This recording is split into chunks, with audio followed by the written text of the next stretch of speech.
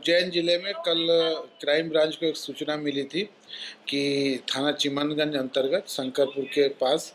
एक कॉलोनी में जो है, नवनिर्माण कॉलोनी में सेक्स का, सेक्स रैकेट का काम चल रहा है। वहाँ पर क्राइम ब्रांच की टीम को वहाँ पर भेजा गया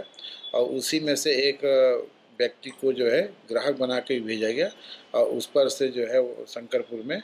उस चिन्हित स्थान से चार महिलाएँ और चार पुरुष अवैध गतिविधियाँ करते हुए पाए गए, आपत्तिजनक स्थिति में पाए गए और उनको जो है थाना, महिला थाना को बुलाकर उनके विरुद्ध जो है अनैतिक व्यापार अधिनियम के तहत कार्रवाई कराई गई है और आज पुलिस जो है उनको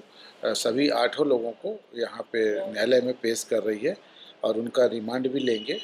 कि उनके द्वारा ये जानकारी मिली है कि वो जो है व्हाट्सअप का पे फ़ोटो शेयर करके और ग्राहक बुलाते थे और उनसे एक ऑटो भी मिली है। इस ऑटो का काम था कि जो है लड़कियों को या ग्राहक को स्टेशन या बस स्टैंड से लेकर आते जाते थे तो इसलिए जो है ऑटो को भी जब्त किया गया है। लड़कियाँ जो हैं अभी तक जो जानकारी मिली है उसमें एक राजस्थान की हैं और एक उज्जैन ज़िले में तहसील है नागदा एक वहाँ की हैं और दो यहीं की हैं। इन चारों महिलाओं को पकड़ा गया है।